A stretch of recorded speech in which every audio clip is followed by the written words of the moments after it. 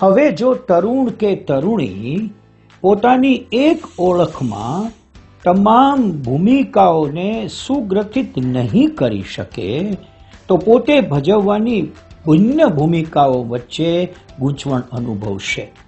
એટલે કે અત્યાર સુધી એણે પોતાનો એક રોલ ભજવ્યો છે, પણ હવે એને અનેક રોલ્સ ભજવવાના છે.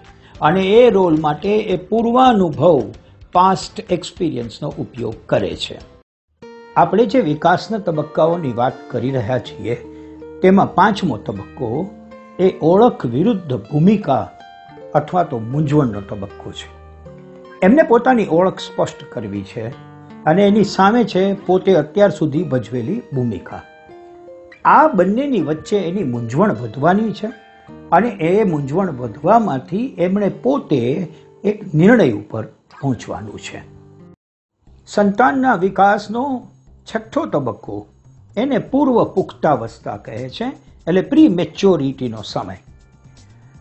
જો વ્યક્તિ પોતાના નજીકના સંબંધની લાગણી પ્રાપ્ત કરી શકે આ ગાળા દરમિયાન, તો એમાંથી એને એવું શીખવા મળે છે કે હું પણ અન્ય વ્યક્તિઓ સાથે નજીકના સંબંધો કેળવી શકું તેમ છું. એનો અર્થ એવો થયો કે એમને સંબંધની જેવી લાગણી આપણે ઇનપુટ તરીકે આપીશું, એવી જ સંબંધની લાગણી એ બીજા પ્રત્યે પણ દર્શાવવાનો પ્રયાસ કરશે અને અન્ય સગા સંબંધીઓ સાથે લાગણીનો વિનિયોગ કરશે. જો આમાં નિષ્ફળતા મળે, તો પછી સંતાન એકલતાવાદી થઈ જાય છે. પોતાનું કોઈ નથી કે જેના ઉપર આધાર રાખી શકે એવી ભાવના અહીં વિકસે છે. આપણે સમજી શકીએ છીએ કે બહુ નાની નાની ને ઝીણી ઝીણી વાતો પણ આપણા સંતાન ઉપર અસર કરવાની છે. મારી લાગણી હું કેમ વ્યક્ત કરું છું? એ પ્રમાણે શીખીને, જોઈને, અવલોકન કરીને મારું સંતાન પણ પોતાની લાગણી અભિવ્યક્ત કરતા શીખશે. મને જો એકલતા ચાલતી હોય તો એ એકલતા હું મારા સંતાનમાં પણ ટ્રાન્સફર કરું છું અને એના ઉપર એવી ભાવનાનો વિકાસ થવા દઉં છું. વિકાસનો સાતમો તબક્કો એ મધ્ય પુખ્તાવસ્થાનો છે. એટલે કે મેચ્યોરિટી મધ્યાહન ઉપર પહોંચી છે. આ બહુ ડિસ્ટર્બિંગ તબક્કો છે. અહીં એક તરફથી સર્જકતા ઉછાળા મારે છે. તો બીજી તરફથી સ્થગિતતા એટલે કે સ્ટેગ્નેશન પણ ભાર દઈ રહ્યું છે. આ વયે સમાજ પ્રત્યેનું દૃષ્ટિબિંદુ સ્થિર થયું હોય છે. અન્ય માટેની પોતાની જવાબદારી સ્વીકારવા તે તૈયાર. સાતમા તબક્કામાં કે જે મધ્ય પુખ્તાવસ્થાનો સમય છે, એમાં અન્ય માટેની પોતાની જવાબદારી સ્વીકારનાર જે સંતાન બને, તે વધુમાં વધુ પ્રોડક્ટિવ બને છે. અને ભવિષ્યમાં સુખી બને છે. અને એમાં જે નિષ્ફળ જાય છે, એ સંતાન સેલ્ફ સેન્ટર્ડ એટલે કે સ્વકેન્દ્રી બનવા લાગે છે. એ માત્ર પોતાનું વિચારીને જીવવાનો માર્ગ પસંદ કરે છે. વિકાસનો આઠમો તબક્કો એ ઉત્તર પુખ્તાવસ્થાનો છે અને આ આપણા સંતાનની વિકાસની છેલ્લી કડી છે. અહીં પરિપૂર્ણતા છે ફૂલફિલમેન્ટ છે, પણ એની સામે જો ફૂલફિલમેન્ટ ન મળે તો નિરાશાનો બહુ મોટો ભય રહેલો છે. આપણે અહીં વિશેષ કાળજીની જરૂર છે. પોસ્ટ મેચ્યોરિટી એટલે કે પુખ્તાવસ્થા પૂર્ણ થયા પછીના ગાળામાં વ્યક્તિનું જીવન જો સંતોષપ્રદ હોય અને પોતાની તથા બીજાની સાથે એકાત્મકતાની લાગણી પ્રાપ્ત કરી હોય તો તેની વૃદ્ધાવસ્થા આનંદપૂર્ણ પસાર થાય છે. પરંતુ જો તે અનુભવે કે તેનું જીવન નિષ્ફળતાઓથી ભરેલું છે, તો તે જીવનભર નિરાશામાં ગરકાવ થાય છે. આપણને પ્રશ્ન થાય કે આ વિકાસના આઠ તબક્કા તો જાણે જાણ્યા પણ એ દરમિયાન માતા પિતા તરીકે અમારે વિશેષ કઈ કાળજી રાખવી? ઉદાહરણ તરીકે વાત કરું? બાળકોને વાસ્તવિક ધ્યેય નક્કી કરવાની અને તે દિશામાં કામ કરવાની તક આપો.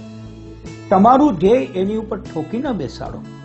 નાના નાના ટાસ્કથી શરૂઆત કરો અને ત્યારબાદ લાંબા ટાસ્કમાં આગળ વધો. તારુણ્યનો ગાળો સમય થાય ત્યારથી એમની સાથે પ્રત્યાયન વધારો. હસી બોલીને વાત કરો. સંગીત આખો દિવસ એની પાસે હસતું રમતું રહે એવું વાતાવરણ સર્જો. મમ્મી પપ્પા તરીકે તમે બંને એકબીજાનો પાક્કો આદર કરો, એકબીજાને ઉતારી ન પાડો. ટીકાઓ તો કોઈ સંજોગોમાં તેની હાજરીમાં ન કરો. આ બધું કરવાથી બાળક ઉપર પોઝિટિવ વાઇબ્રેશન્સ ટ્રાન્સફર થવાના છે. એમને શું કરવું છે? એ પૂછવાનો સમય તરુણાવસ્થાથી શરૂ થાય છે.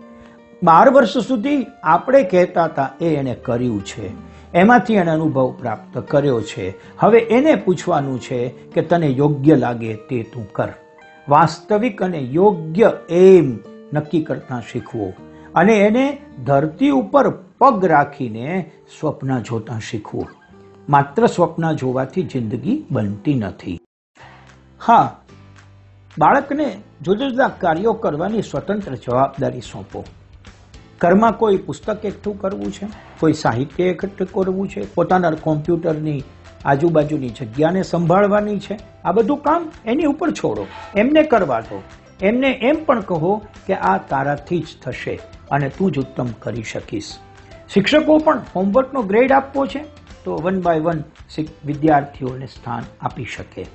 ખાસ કરીને યાદ રાખવાની વસ્તુ એ કે તમને ક્યારે પણ એવું લાગે કે મારું સંતાન અથવા તો મારો વિદ્યાર્થી થોડો હતોત્સાહ થઈ રહ્યો છે ડિપ્રેસ થઈ રહ્યો છે, તો તાત્કાલિક એની સાથે હકારાત્મક પ્રત્યાયન બાંધી જ દો. એમને કેટલીક એવી વાતો કરો, આગળના કાર્યના નમૂનાઓ એને આપો અને એને એ વિશ્વાસ બંધાવો કે એનાથી કામ થઈ શકશે, હતાશ થવાની જરૂર નથી, બે વાર નિષ્ફળ થઈ શકાય. મમ્મી પપ્પા તરીકે બરાબર યાદ રાખીએ. મિત્રો કોઈ પણ સંજોગોમાં સંતાનના મનની અંદર આપણા કાર્ય વિશે, આપણા સંબંધોની લાગણી વિશે જરા પણ શંકા કે વહેમ કે દ્વિધા ન પડે એટલી સ્પષ્ટતા એમની સાથે કરતા રહો. આ કરવું છે તો કેમ કરવું છે? અને આ નથી કરવું તો શા માટે નથી કરવું? તેની મુક્ત મને નિખાલસ ચર્ચા કરો.